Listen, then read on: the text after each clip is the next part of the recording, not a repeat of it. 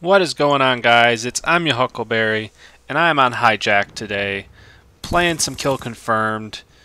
Got my favorite gun, the MSMC. MSMC, what a mouthful. Uh, and I uh, got a diamond here. Uh, it's my favorite by far. I mean this gun is just, I love it. It's so steady. You can just mow people down with it. Uh, it's really good with extended clip.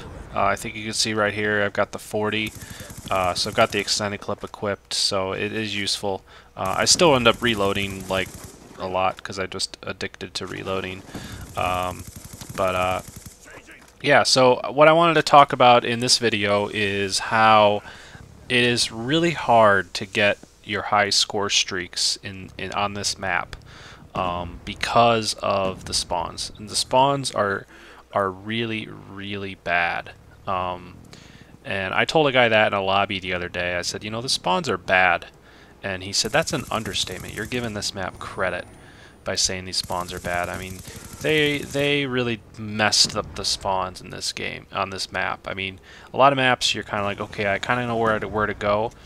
And what I'm hearing from a lot of good players, uh, and the post YouTubes on video, uh, post post YouTubes on video, post videos on YouTube, uh, is that they don't like this map. And I, I can see why, because the things that they want to try to accomplish are much harder. Uh, it, is a challenge to try to get them. So that, that part of it is interesting, but it can be very frustrating at the same time. So get the get the VSAT here. You got to get that VSAT. Get that VSAT up, baby! Um, and then it's just uh, a little bit to here to the Warthog. I'm going to pick this guy off. And I see another guy coming through, so let me let me get him. And the Warthog here saves my life. Um, it it really did, because you see those three guys right there? Yeah, the Warthog just destroyed them. Uh, they would have killed me. The, the three of those guys, yeah, they, they would have killed me. So I'm not going for that tag. But uh, get me get this guy first. Okay. So yeah, I, I just wanted to, to talk about that and just say that this map is um, it's hard.